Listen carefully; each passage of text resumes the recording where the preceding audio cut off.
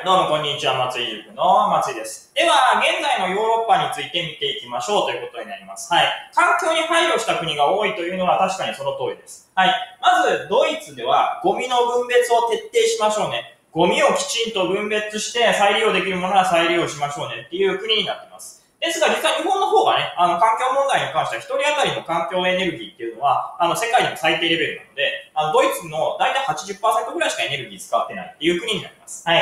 では、ドイツっていうのはゴミの分別に関して、まあ、必死にやってますよということになります。そして、もう一つがこちら。ドイツ、デンマークでは風力発電をやってます。はい。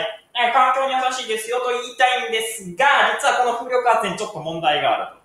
いうことになります。風力発電って実はあの完璧に素晴らしいと,、えー、と言えるものでは実はないんですね。まあ、詳しくはあの風力発電の問題とかでね、あの、Google で調べてもらうとわかるんですけども、風力発電があの環境に優しいと思っているのは勉強不足になります。はい。ということで、このドイツでゴミの分別やドイツ、デンマークっていうのは、環境問題に対して、えー、と必死になって対応する、まあ、国が多いですよって、まあ、ヨーロッパっていうのはそういう国が今多いですね。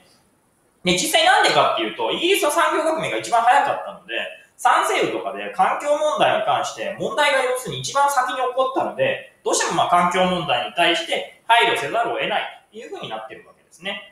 よろしいでしょうか。それでは本日もご視聴いただきまして誠にありがとうございます。